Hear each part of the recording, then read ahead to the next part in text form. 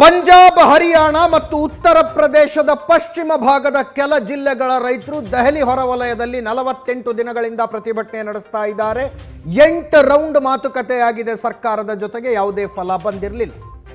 Finally ಇದೇನಾಗ್ತಿದೆ ನೋಡಬೇಕು ಅಂತ supreme court ಈ ಪ್ರಕರಣವನ್ನು ಕೈಗೆತ್ತುಕೊಂಡಿತು. ಇದರಲ್ಲಿ ಮೋದಿ ಸರ್ಕಾರಕ್ಕೆ ಹಿನ್ನಡೆಯಾಗಿದೆ. ತಾತ್ಕಾಲಿಕ ತಡೆ ಕೊಟ್ಟಿದೆ ಸುಪ್ರೀಂ ಕೋರ್ಟ್. ಕೃಷಿ ಕಾಯ್ದೆಗಳಿಗೆ ಈ ತಾತ್ಕಾಲಿಕ ತಡೆ ಪ್ರತಿಭಟನೆಗೆ ಕುಳಿತ ರೈತರನ್ನ ಸಂತೋಷ ಪಡಿಸ್ತಾ ಅಂದ್ರೆ ಅದು ಇಲ್ಲ. ಕೃಷಿ ಕಾಯ್ದೆಗಳಿಂದ ನಿಜವಾಗಿಯೂ ರೈತರಿಗೆ ಸಮಸ್ಯೆಯಾಗುತ್ತಾ ಅಂತ ಅಧ್ಯಯನ ಮಾಡಿ ರಿಪೋರ್ಟ್ ಕೊಡೋದಕ್ಕೆ ಒಂದು ಸಮಿತಿಯನ್ನು ಸುಪ್ರೀಂ ಕೋರ್ಟ್ ರಚನೆ ಮಾಡಿದೆ. ಸಮಿತಿ ರಚನೆ ಮಾಡೋದಕ್ಕೆ ಕೇಂದ್ರ ಸರ್ಕಾರ ಓಕೆ ಇದೆ, ಆದರೆ ರೈತ ಸಂಘಟನೆಗಳ ಓಕೆ ಇಲ್ಲ. ಈ ಸಮಿತಿ ನಮಗೆ ಬೇಡ, ಈ ಸಮಿತಿ ಎದುರಿಗೆ ನಾವು ಬರದೇ ಇಲ್ಲ ಅನ್ನುವ ನಿರ್ಧಾರಕ್ಕೆ ರೈತ ಸಂಘಟನೆಗಳು ಬಂದಿವೆ.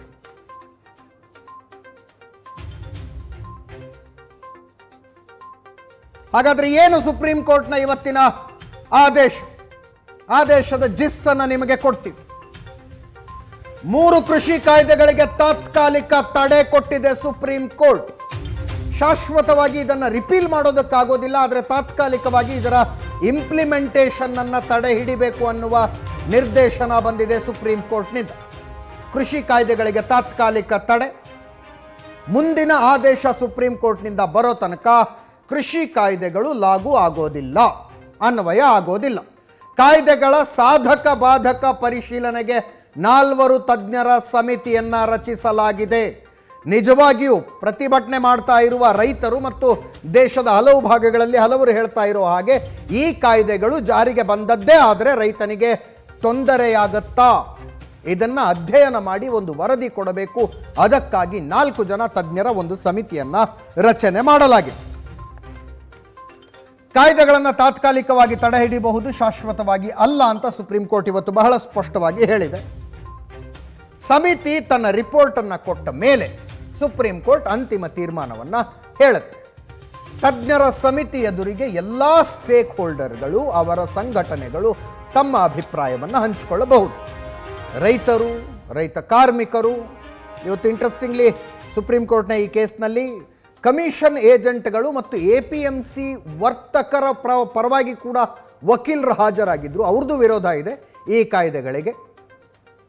ಅವರು ಕೂಡ ಸುಪ್ರೀಂ ಕೋರ್ಟ್ ಅವ್ರಿಗೂ ಹೇಳ್ತು, ನೀವು ತಜ್ಞರ ಸಮಿತಿ ಎದುರಿಗೆ ಹೋಗಿ ಹೇಳ್ಕೊಳ್ಳಿ, ನಿಮ್ಮ ಸಮಸ್ಯೆ ಏನಿದೆ ಅಂತ. ನಾಲ್ಕು ಜನರ ಸಮಿತಿಯನ್ನು ರಚಿಸಲಾಗಿದೆ. ಯಾರ್ಯಾರು ಈ ಸಮಿತಿಯಲ್ಲಿ? ಡಾಕ್ಟರ್ ಪ್ರಮೋದ್ ಕುಮಾರ್ ಜೋಶಿ ಇದ್ದಾರೆ, ಕೃಷಿ ನೀತಿ ತಜ್ಞ. ಕೃಷಿ ನೀತಿ ತಜ್ಞ ಡಾಕ್ಟರ್ ಪ್ರಮೋದ್ ಕುಮಾರ್ ಜೋಶಿ. ಅಶೋಕ್ ಗುಲಾಟಿ, ಕೃಷಿ ಆರ್ಥಿಕ ತಜ್ಞ.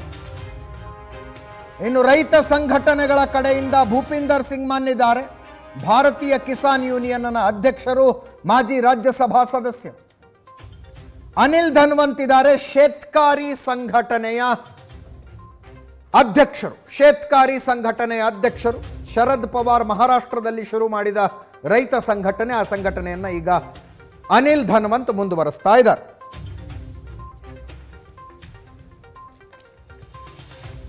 ರೈತ ಸಂಘಟನೆಗಳಿಂದ ಇಬ್ಬರು ಕೃಷಿ ಆರ್ಥಿಕ ತಜ್ಞರು ಅನ್ನಿಸಿಕೊಂಡಂಥ ಇಬ್ಬರು ಒಟ್ಟು ನಾಲ್ಕು ಜನರ ಸಮಿತಿ ಇದೆ. ಇಂಟ್ರೆಸ್ಟಿಂಗ್ಲಿ ಈ ಸಮಿತಿಯನ್ನು ರೈತ ಸಂಘಟನೆಗಳು, ಪ್ರತಿಭಟನೆ ನಡೆಸ್ತಾ ಇರುವ ರೈತ ಸಂಘಟನೆಗಳು ಒಪ್ಕೊಳ್ಳೋದಕ್ಕೆ ತಯಾರಿಲ್ಲ. ಈ ನಾಲ್ಕು ಜನ ಕೂಡ ಅಂತಿಮವಾಗಿ ಈ ಕಾಯ್ದೆಗಳು ಒಳ್ಳೆಯವೇ ಅಂತ ರಿಪೋರ್ಟ್ ಕೊಡ್ತವೆ ನಮಗೆ ಗೊತ್ತು. ಅದಕ್ಕೆ ನಾವು ಯಾರು ಈ ಸಮಿತಿ ಎದುರಿಗೆ ಬರೋದಿಲ್ಲ ಅಂತ ಬಹಳ ಸ್ಪಷ್ಟವಾಗಿ ಸಂಘಟನೆಗಳು ತಮ್ಮ ಅಭಿಪ್ರಾಯವನ್ನು ಹೇಳಿವೆ. ಸುಪ್ರೀಂ ಕೋರ್ಟ್ ಆದೇಶಕ್ಕೆ ಪಂಜಾಬ್ ಮತ್ತು ಹರಿಯಾಣದ ರೈತರು ಸಡ್ಡು ಹೊಡೆದಿದ್ದಾರೆ. ಬಿಕ್ಕಟ್ಟು ಪರಿಹರಿಸೋದಕ್ಕೆ ತಜ್ಞರ ಸಮಿತಿಯನ್ನು ಸುಪ್ರೀಂ ಕೋರ್ಟ್ ರಚನೆ ಮಾಡುವ ನಿರ್ಧಾರಕ್ಕೆ ಬಂದಿತ್ತು. ಸುಪ್ರೀಂ ಕೋರ್ಟ್ನಲ್ಲೂ ಕೂಡ ರೈತ ಪರ ವಕೀಲರು ವಾದ ಮಾಡಿದ್ದು, ಸಮಿತಿ ಬೇಡ, ಈ ಕಾಯ್ದೆಗಳನ್ನು ರದ್ದುಗೊಳಿಸಿ ಅಂತಾನೆ. ರದ್ದುಗೊಳಿಸೋದಕ್ಕಾಗೋದಿಲ್ಲ ಅನ್ನುವ ನಿರ್ಧಾರಕ್ಕೆ ಸುಪ್ರೀಂ ಕೋರ್ಟ್ ಬಂತು, ರದ್ದೆಲ್ಲ ಮಾಡೋದಿಲ್ಲ. ನಿಜವಾಗಿಯೂ ನೀವು ಹೇಳ್ತಾ ಇರೋ ಹಾಗೆ ಈ ಕಾಯ್ದೆಗಳು ರೈತರಿಗೆ ಮಾರಕವಾ ಅನ್ನೋದನ್ನ ತಿಳಿದುಕೊಳ್ಳೋದಕ್ಕೆ ಒಂದು ಕಮಿಟಿ ಮಾಡ್ತೀವಿ ಅನ್ನುವ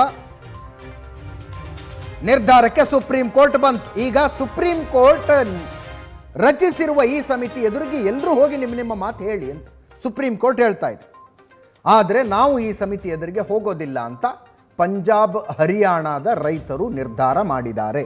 ನೀವು ಯಾವುದೇ ಸಮಿತಿ ಮಾಡ್ಕೊಳ್ಳಿ, ಇದ್ರ ಎದುರಿಗೆ ನಾವು ಹೋಗೋದಿಲ್ಲ. ಸುಪ್ರೀಂ ಕೋರ್ಟ್ ಮಧ್ಯಸ್ಥಿಯಕ್ಕೆ ಆ ಕಮಿಟಿ ಎದುರಿಗೆ ನಾವು ಹೋಗೋದಿಲ್ಲ. ಕೇಂದ್ರ ಸರ್ಕಾರ ಸುಪ್ರೀಂ ಕೋರ್ಟ್ನ ದಾರಿ ತಪ್ಪಿಸಿದೆ. This is the official statement agriculture ಯೂನಿಯನ್ಗಳ ಅಧ್ಯಕ್ಷರಿಂದ. ದಾರಿ ತಪ್ಪಿಸ್ತಾ ಇದೆ ಕೇಂದ್ರ ಸರ್ಕಾರ, ಸುಪ್ರೀಂ ಕೋರ್ಟ್ದು ಈ ಸಮಿತಿಗೆ ನಮ್ಮ ಒಪ್ಪಿಗೆ ಇಲ್ಲ. ನಮ್ಮ ಹೋರಾಟವನ್ನು ನಾವು ಮುಂದುವರಿಸ್ತೀವಿ. ಜನವರಿ ಇಪ್ಪತ್ನಾಲ್ಕು ಗಣರಾಜ್ಯೋತ್ಸವದ ದಿನ ಟ್ರ್ಯಾಕ್ಟರ್ ಪರೇಡ್ನ ಪ್ಲ್ಯಾನ್ ಇತ್ತು.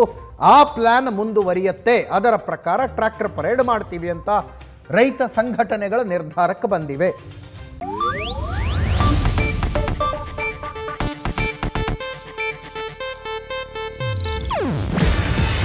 ಇದು ಏಷ್ಯಾನೆಟ್ ನ್ಯೂಸ್ ನೆಟ್ವರ್ಕ್ ಪ್ರಸ್ತುತಿ.